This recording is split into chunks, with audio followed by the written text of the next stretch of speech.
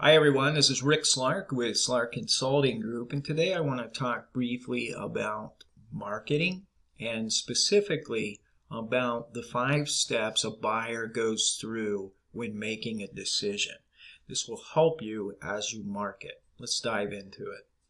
So the first step is you recognize a problem um, the car is not functioning properly, the saw that you were using has stopped working, and you have a perceived need. There's something that has gone wrong, and you need to get that handled. So second part of that is you begin to search. So first off, there's an internal search.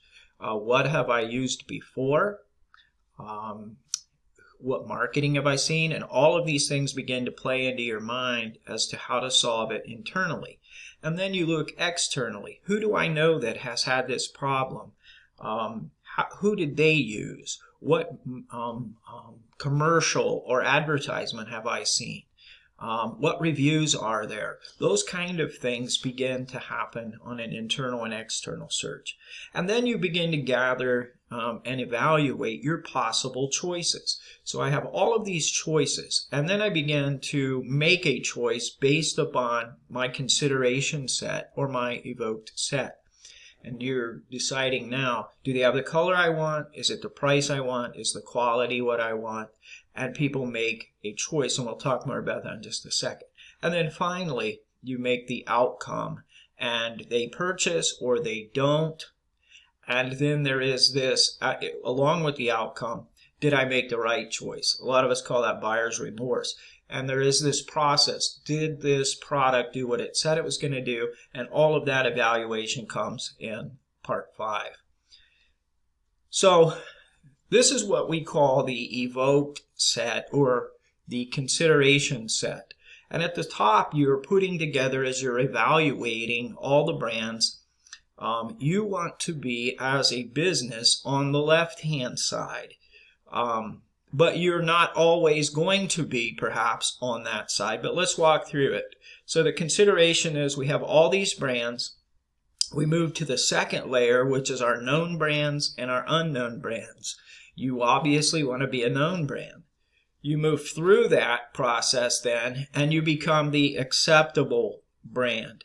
They've determined your quality, your price, the delivery. All of those things are acceptable to them. And you are the acceptable brand. And what do they do? They purchase it. Now, in this little model, it's a very simple model, but it provokes a lot of questions that you should be looking at as a business owner or you, with your you or your team, um, and asking yourself, number one, um, are we a known brand or an unknown brand? If we're an unknown brand, the next question then, how do we move to the known brand? What steps do we need to take to get to that known brand or that evoked set?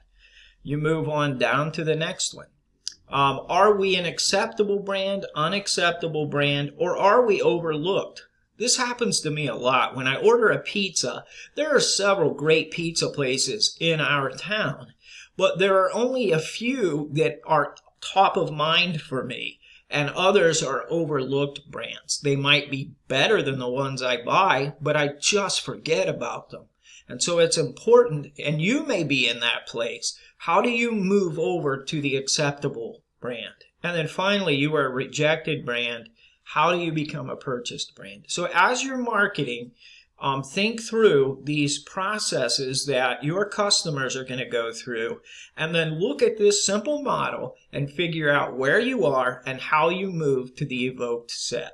All right, if you have any questions, we can walk you through this process. It's a a, a, a really important uh, part of your branding and your marketing, and we'd love to help you.